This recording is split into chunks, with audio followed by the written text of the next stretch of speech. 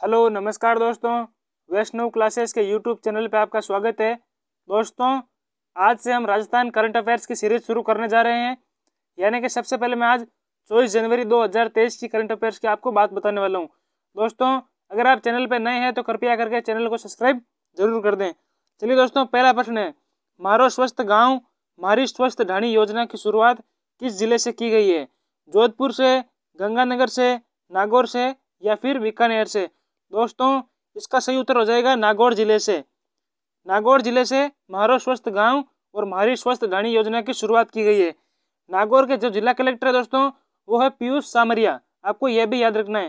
दोस्तों, अभी हाल ही के अंदर कल जालौर ज़िले के अंदर मेरा विद्यालय, मेरा अभियान कार्यक्रम की शुरुआत की गई थी। शहीद मेजर शैतान सिंह, मेजर पीरूष सिंह, शेखावत के नाम पर अंडमान निकोबार द्वीप में दो द्वीपों का नाम रखा गया है। इन्हें किस सम्मान से सम्मानित किया गया था?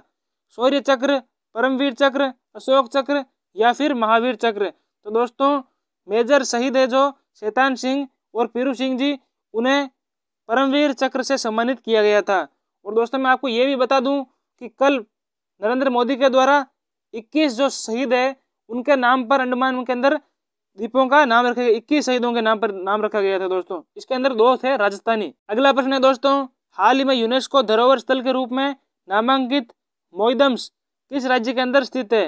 राजस्थान, अरुणाचल प्रदेश, असम या फिर पश्चिम बंगाल? तो दोस्तों, जो मोइदम्स है, वो असम के अंदर स्थित है। अगला प्रश्न है दोस्तों, राजस्थान के किस ज़िले में आसाएँ the filling station petrol pump खुलेगा? अलवर के अंदर, भरतपुर के अंदर, उदयपुर के अंदर या फिर बाड़मेर के अंदर? दोस्तों, जो आशाएँ द फिलिंग स्टेशन है, ये अलवर ज़िले के अंदर खोला जाएगा। अगला प्रश्न है दोस्तों हरितिमा ढाणी में डेजर्ट पार्क बनाया जा रहा है। यह किस ज़िले में स्थित है? जोधपुर के अंदर, चूरू के अंदर, सीकर के अंदर या फिर पाली के अंदर? तो दोस्तों, हरितिमा ढाणी है, यह चूरू के अंदर स्थित है। दोस्तों, मैं आपको बता दूँ कि इस डेजर्ट पार्क के लिए तीस लाख रुपए की वित्तीय स्वीकृति दी गई है। तीस लाख रुपए की वित्तीय स्वीकृति। दोस्तों, एक डेजर्ट पार्क है, जो जयपुर ज़िले के अंदर स्थित है। आपको यह याद रखना है। चलिए दोस्तों, अगले प्रश्न की बात करते हैं। अगला प्रश्न है दोस्तों भारत का सबसे गहरा मेट्रो स्टेशन कहाँ बनाया जाएगा? भारत का सबसे गहरा मेट्रो स्टेशन कोलकाता, मुंबई, जयपुर या फिर पुणे? तो दोस्तों, इसका सही उत्तर हो जाएगा पुणे के अंदर भारत का सबसे गहरा मेट्रो स्टेशन बनाया जाएगा। चलिए दोस्तों, अब अंतिम प्रश्न की बात करते हैं।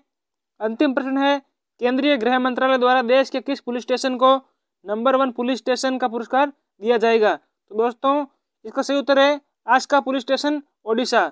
और जो नंबर दो पर पुलिस स्टेशन है दोस्तों, नंबर दो पर पुलिस स्टेशन है, वो है गंगापुर पुलिस स्टेशन, ओडिशा।